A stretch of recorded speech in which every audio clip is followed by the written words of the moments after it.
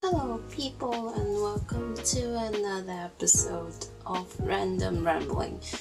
And I'd like to apologize in advance because this video is late mm, by the time you're watching this. So, yeah. Since I just got a job, and yeah, I will explain it later on because there's a question about that. And Inktober come into play, so I'm not very good at multitasking stuff despite being Hong Konger, so yeah. Mm. But here I am, so. And today's episode is going to be the very um, exciting second episode of Q&A. Yay! Yeah again for your understanding and my um answering i guess q&a episodes will be in english so that everyone will be happy i guess. Yeah and by the way i got it on the lap laptop so so let me just move my laptop here. I'm such a mess. First two questions i guess uh, so the first two questions. The first one, what kind of music are you into? The second one, how much weight can you bench press? I don't know what bench pressing means, so I'll look that up later, but just do a the music question first. When it comes to listening to music, I am no expert by all means. Okay. Um, I don't even know the differences between rock music and metal music so but what i do like is i guess noisy music but i do like some rather classy stuff how, how, how do you describe it? Like musical? Not high school musical musical. Like the... This is my favorite and Ramin Karimloo is, is, is this how you pronounce his name? It's awesome. Check him out. But the irony is I've never listened to the songs by Iron Maiden and yet I have this shirt.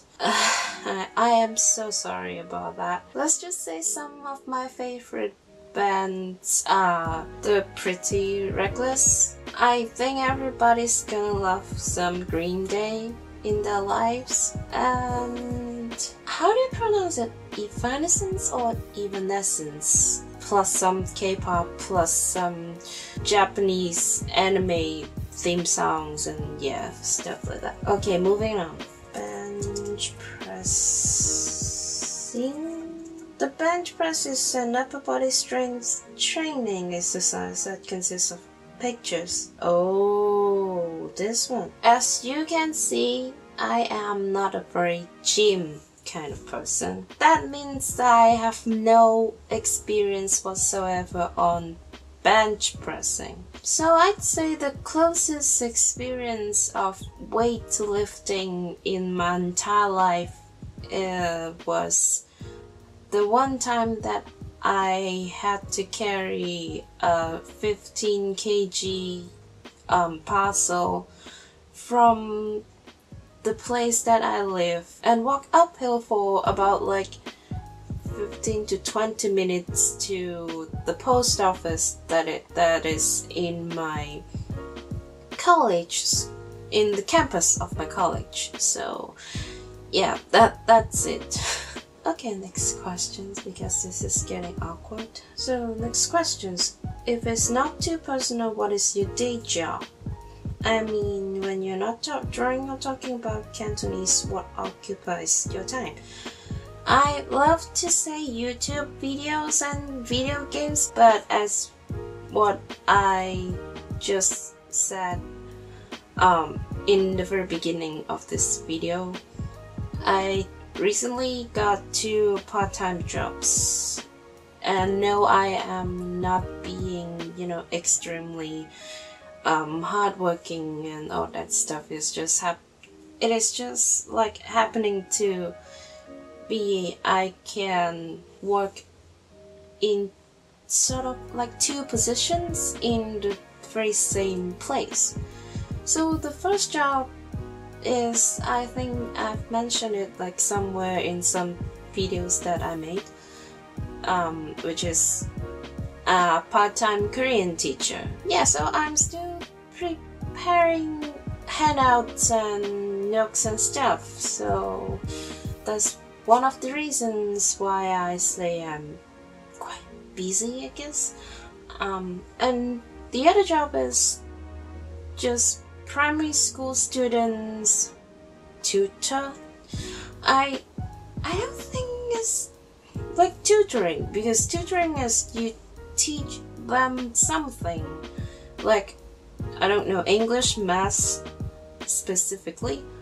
That's what I thought. That's what I think at least. But this one is more like I yell at them until they finished their homework and can go home. That kind of tutor. So I guess more of a supervisor, that kind of thing. You know, like the gym if you're still biting your pencils and not doing your Chinese homework, I'm going to call your mom and ask her to whoop your ass. That that kind of thing. Okay, next question. Fourth one, the fourth question. What artist has been the most inspirational to your work? And to those of you who only watch uh, my non-drawing videos or this is your first video looking at my face hello um yeah I do draw but I am not a professional artist because I I just don't have the opportunity to actually profit from my art other than making videos on YouTube and hopefully they don't demonetize my videos. Thanks. Yeah, I draw stuff. And in terms of inspiration, I say this the Walking Dead um, comic that inspired me to start this whole path as a more like horror, gore, macabre kind of um, artist. If you're talking about a specific person, mm, that's quite difficult. Well, because I don't, I didn't go to any art schools or have it, have myself academically academically trained as a painter or something like that. So I don't have a rich knowledge in terms of art history or something like that. So most of my inspiration, you know, artist wise, comes from the internet. And recently, I find um, this lady.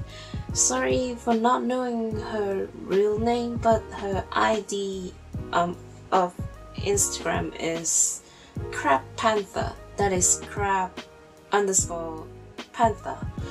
So check out her work.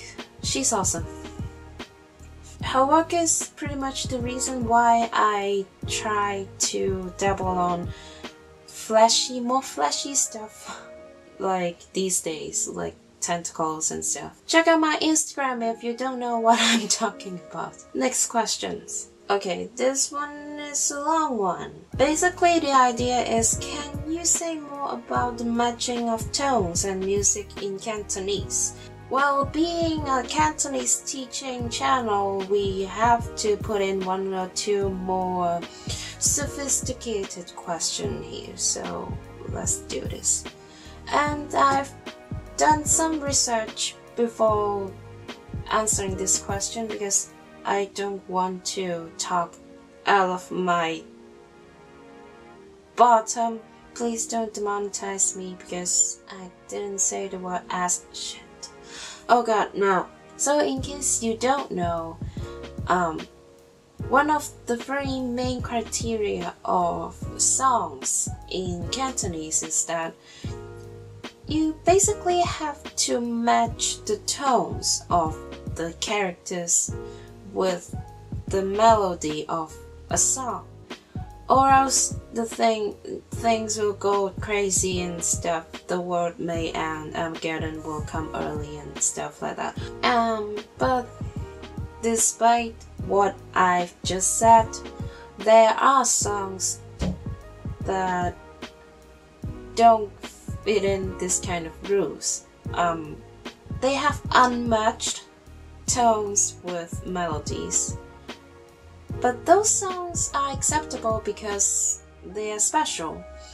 Um, maybe they are anthems for schools or organizations. The songs you sing in church when you're praising the God, the only mighty God, yeah, Jesus yeah, those are quite weird. I don't know why. Like, especially for the very OG, hardcore ones. And the third one, there's like kids songs. So yeah, maybe I'll leave some examples link in the description so you can check them out. But other than that, if you're just making, trying to make a beautiful cantopop song, then you must um, match the tones with their melody. The reason is to make the songs understandable at first. If you mispronounce the tones in Cantonese, there can be wrong messages or wrong meaning and misunderstanding and stuff like that. Other than misunderstanding, it just ruins the whole song. It makes it not beautiful anymore. So, and apparently how people you know place lyrics in a more efficient way is that they place something meaningless just for the sake of correct tones and pronunciation. And in those cases numbers. Then they can use the numbers pronunciation to help them figure out which kind of tones they need. You know the combination and that's much faster than just guessing character by character. And I hope I am not just rambling nonsense and I actually answered your question. Yeah. Next one, the last comment with three questions. What is your favorite horror movie? Hong Kong and Hollywood. Do you have a phobia? And on a typical day which is higher your protein or carbohydrate intake. So let's deal with the quest the question of um, horror movie. Well, I am not a very movie person. Is it how you say it? Like, yeah. I don't watch a lot of movies. Yeah, actually because I am a weird person and I like to keep going back to this, those that I have watched like a million times. That's how I grow up, I guess. I used to like just sit in front of the TV and watch Snow White, Disney Snow White, for like a bajillion times, and I would be pissed off if the TV is like turned off. And I guess I still have that part of me, like till now. I don't have a, a Hong Kong's horror movie favorite that I have watched, but I have heard that the movie Geung Si, which is not vampire but Chinese kind of zombie. It is a very good movie. And the other one, which is a more recent one, is Submin. This one is for those of you guys who like gore other than spookiness. I'll leave the trailer in the description down below so if you want to check them out, go check them out. Is available on YouTube. And don't worry, they have English subtitles on the trailer, so don't, yeah. But speaking of Hollywood movies, well, still the same. I don't have many experience on movies, let alone um, horror movies. Mm. But I remember the very first Hollywood horror movie that I watched um, was the House of Wax. Yeah, the one with Paris Hilton in it. I, I, I remember I was like very frightened and almost traumatized by that. Next question Do I have a phobia? I don't think so. Mm-hmm. At least not the very typical ones. Um, I'm not afraid of clowns. I draw clowns. And I'm not that afraid of spiders. Yeah. I can, you know, be with spiders like within the same space. And what else? I am not that afraid of heights. You know, when when you go up to one of those tourist attraction um, tower that somehow people troll the tourists by building the floor with glasses. With glass not glasses that be truly horrifying. With glass. Um i don't i'm not afraid of those kind of things yeah, it is a bit intimidating at first, but then you get used to it. Um, yeah, I'm not afraid of roller coasters as well. Um,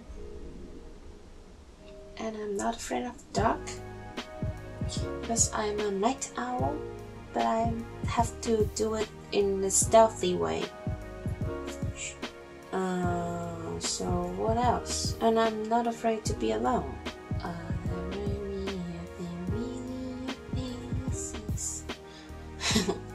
Does the fear of flying cockroaches count as a phobia? If yes, then that one. Okay, then the last question. Protein or carb? Like a good Asian that I am, I like me some rice. So, carbs like the main energy source, I guess. Sorry for not being able to vegan because who hate like how how can you say no to chicken? Like seriously. So being a, being an Asian and a meat lover i guess my protein and carb intakes um, half half and let's call this a wrap of this video. Leave a like down below if you find my embarrassment amusing and you like it. Mm. Also, leave a comment down below if you have anything to say, like you are one of us or you are shaking your damn head all the time, like the whole time. Uh, yeah. And also subscribe to this channel for more of this kind of embarrassment vlogs, um, Cantonese tutorial and, and, and time-lapse drawing. yeah and like yeah all of those are weekly videos so stay tuned. Um I, I I'm going to ask you, you guys to to to to hit on that bell button. Yeah get notified. Yeah. Okay I'll see you in the next video. Bye. I've talked for like 30 minutes straight so good luck with the whole editing, I guess.